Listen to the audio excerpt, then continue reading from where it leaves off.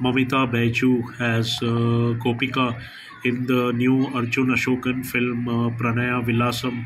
Is a show stealer, a scene stealer. Right from the first sequence, the film actually begins with her as she moves towards uh, her lover, played by Arjun Ashokan, who's a brilliant singer, and from there onwards, the way in which she pulls his leg uh, with her bewitching smile, uh, the way in which she makes him realize uh, his shortcomings without actually uh, hitting on them too hard.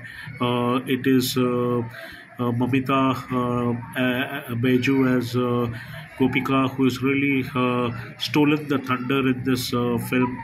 Uh, she's portrayed a young college girl who's in love with her guy, uh, with her uh, young uh, lover, even though he is a flirt and he looks for other uh, uh, moments and occasions with other girls, especially his exes, and that is where uh, Mamitha Rajan really uh, makes her mark in terms of uh, playing a girl who truly understands uh, uh, the young uh, aspirations.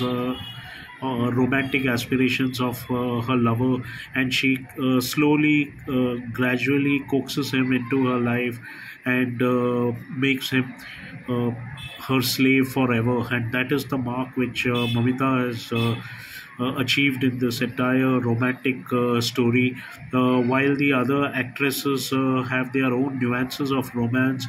Uh, Mamitha plays a very different kind of a lover who is encouraging, uh, who allows uh, her lover to have a long rope so that he eventually comes back to her, and that is the magic and beauty of. Uh, Gopika's character, uh, Mamitha has played it brilliantly. She looks uh, wonderful with Ash- Ashok, uh, uh, and uh, this is uh, looking forward to more uh, such strong roles uh, by her.